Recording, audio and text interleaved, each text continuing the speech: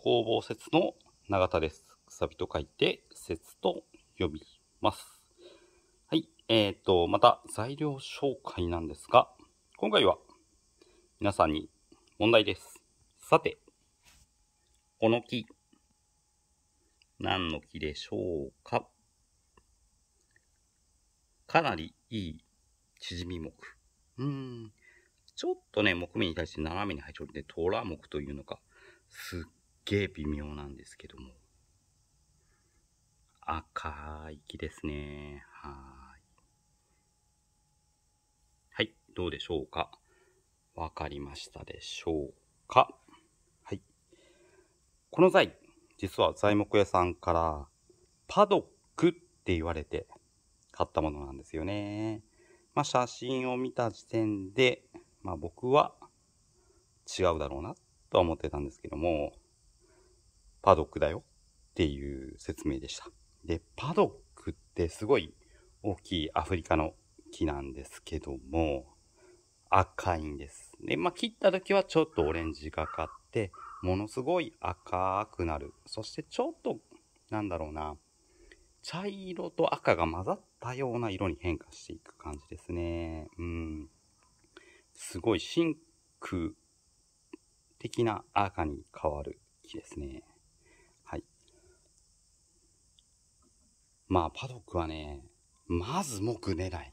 うん。見たことがない。本当にね、ものすごい大きい材でね、シャッシャッシャッぐらいで、ね、あるんですけど、こんな縮み木は見たことない。なので、パドックの縮みはめちゃくちゃ珍しいっていうことで売ってるわけなんですが、はい。違うなとは思ってたんで、はい。削まあ、ちょっとプレーナーを当ててみました。はい。見事に貝の色してますね。はい。まあ、この木目、いわゆる年輪の方ですね。まあ、こちらの感じも全然パドックと違うし、もうちょっと細かく見るとパドックの独特のね、土地のようなこういう横のね、あれもないですしね。うん。もう、香りも含めて。まあ、かりんで間違いないと。今までの経験上ね。で、当然こういうかりんは何度も僕削ってきておりますので、まあ間違いないですね。うん。はい。そうなんですよ。最近、その木軸にはまってて、まあ、木のペンを使ってるお客様、まあ、学生さん、そして大人の方も含めて、ペンをいっぱい集めるだけにとどまらず、最近材木を買うお客様がね、増えてるんですよ。まあ、コレクション的、そして趣味で作るためということでしょうか。でね、材木屋さんに、まあ、いろいろ聞いて、こうやって変わったものを買ってくるわけですが、まあ、その時ね、ちょっと気をつけていただきたいのが、僕、この木の世界でやってる木工家、まあ僕は25年ぐらい、まあ木の世界に携わってますが、そして材木屋さんもそれ以上に経験ある方いらっしゃいます。けど、100%全部の機、全部の木を分かってるわけではありません。やっぱりね、その得意分野、好きな分野で、とことん経験を積んでいろんなものを見て、初めて蓄積蓄積されていく知識っていうものがね、あります。なのでね、すべてを鵜呑みにしちゃ、ちょっといけないのかなっていうのを皆さんに知ってほしい。でもね、大概、大概ですよ。大概合ってます。うん、間違いない。ただね、中にはそういうものもありますよっていうことだけ。うん。木の名前であったり、その木の名前であったりとか、もちろん木の名前はね、勝手につけてもいいんですが、うん。まあ、虎木、縮木、この辺わからないんですよね。まあ、それをまた別の名前でつけるのもありなんですが、その方にとって、その木の名前であって、すべての材木屋さん、そして木工家に通用するものではないということを知っていただければと思います。当然、工房説の中にもあります。以前にも言いましたね。つぶつぶ木と波木。あれはもう工房説が私、永田が勝手につけたものであります。材木屋さんに行って通用するかなって言ったらしないところが多いかな。うん。通用するところもあるかと思います。波木の場合はね、ストレスカーリーって言った方が通じるかな。うん。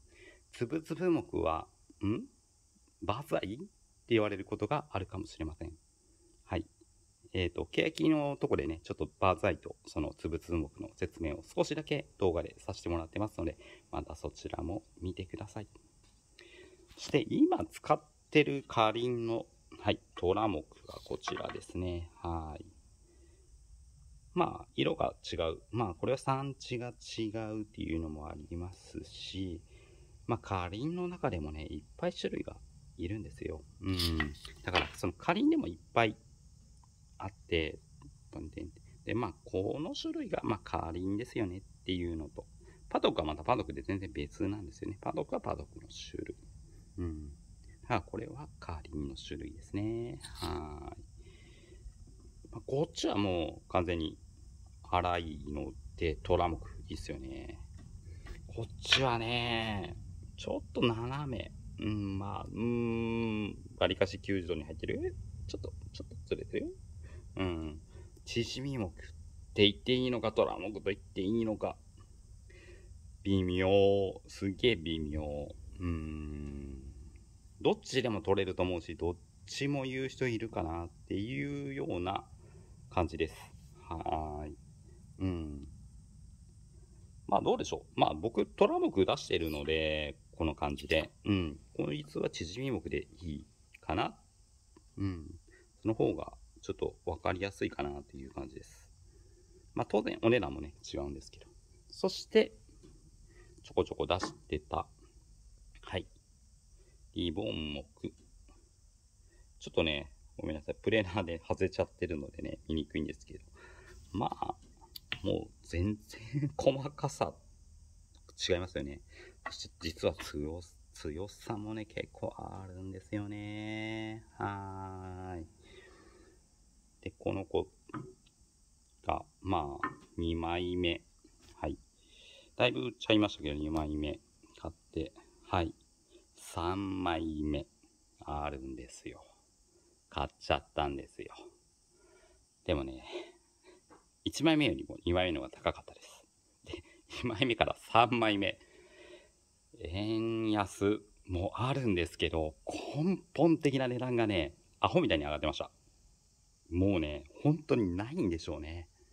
で、まあ、パンパンパンって売れてしまって、残り少なくなって、売りたくなかったんでしょうか。高かった。もう、ほっとね、うーん、ごめんなさい。今出してる値段でね、もう全然追っつかない値段になってたんでね、びっくりしましたよ。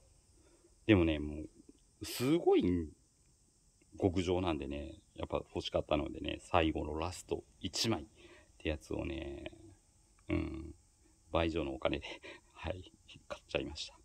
また作っていきます。なのでね、申し訳ない。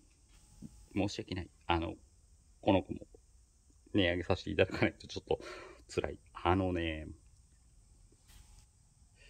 まあ、他の方とも喋ってるんですけどね、あの極上は安すぎるだろうっていう、うん、あれは、他の子のこっちの価値に比べたらもう断然すごいので、ちょっとあかんのじゃないっていうことも、はい、話しております。はい、なのですいません、ちょっと秋のイベント、はい。えー、っと、仙台はね、シャーペンシルありません。ルーチェペンしかこっちありません。はい。川崎さんのイベントからまたこの子作っていこうかなと思っております。はい。はい。まあね、本当に古い木なんでしょうね。何かに使われてた。あと、うん、この作り方言うと柱とかですかね。うん、すごい木があったってことですよね。そしてもう一個、全然別のところからなんですけども、うん。赤いコブ。なんでしょうか。はい。まあ、ちょっと気づいたりするんですけども、これが、サイアミーズローズウッド。そうです。本シタンのコブでございます。いた。うん。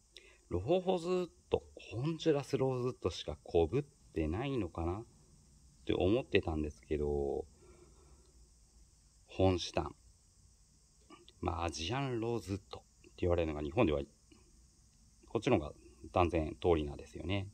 まあ、最近まあ僕のシアメイスを含めてサイアミースっていう言葉が、まあ皆さんの中でも認識されているのかな。うん。楽器の世界ではありました。うん。はい。えー、っと、まあちょっと裏削ってみて、ちょっとこのオレンジがかる感じね。香りも、さすが昆布のとこですね。めちゃめちゃします。本主さんの。うーん。はい。えっと、えっと、買ったわけじゃありません。はい。これは、材木屋さん。まあ、お世話、お世話になってる材木屋さんのコレクション的なものでございます。はい。えっ、と、値段聞きました。とんでもない金額しますね。はい。で、材木屋さんの分でちょっとまあ、基本的に僕特注はね、一切今受けておりません。注文も一切受けておりません。メールかなり来るんですけども、すべてお断りさせていただいておりますが、まさすがにね、ごめんなさい。材木屋さんのね、が作ってって言われたらね、これ断ることができないです。うん。お客さんのは断るのにそれはできないのって言われるんですけど、できないです。僕の生命線ですもん。うん。僕の生命線の材木屋さんを無限に扱うなんてはごめん。僕にはできないです。財務屋さんがちょっと生産作ってよ。すんげえのあるから。っていうことで、はい。そして、財務屋さんの分、あの、こっちだけで大丈夫です。っていうことでしたので、ここからこっち。まあ、うん、いいよというお話をいただきました。はい。えっと、とんでもない金額です。はいえー、っと、イベントで多分並べません。個人的に楽しもうと思っております。はーい。もしかしたら来年の個展にね、1、2本並ぶかもしれません。うん。そうなんですよ。ね、こうずっと本下にもね、こぶってあるんですね。まあ、その、こんなに大きい塊のコブじゃなくて、本当にね、枝っぽくてつぶつぶつぶって、本当に、ちょろっと、こんだけ、もう指、ポツって半個ぐらいの大きさのコブっていうのはね、はからんだブラジリアンローズットでも、ココボロでも見たことはあります。実際作ってきたことありますが。こんな風にね、ペン全体に乗るぐらいのこの大きさのコブ。まあ多分これもっともっと大きいと思うんですよね。うん。そういうのは本当にないんですが、うん。まあ、ホンジュラスローズウッドでできるぐらいですからね、他の木にできないっていう道理はない。そのため、あるんだなっていうことを、うん。でもね、25年見てきてもね、初めてですよ。本当に初めて。うん。まあそういうものもあるということですね。だから、こんだけやってても新しいものが出てくるんですよ。だから切ってほんと難しい。だから、もうそんなものないてっていうことはないんだと思っております。はい。まあというわけで、まあいろいろあります。はい。またペン作っていきますのでね、秋のイベント、たくさんご用意しております。またイベントに来ていただければなと思います。よろしくお願いいたします。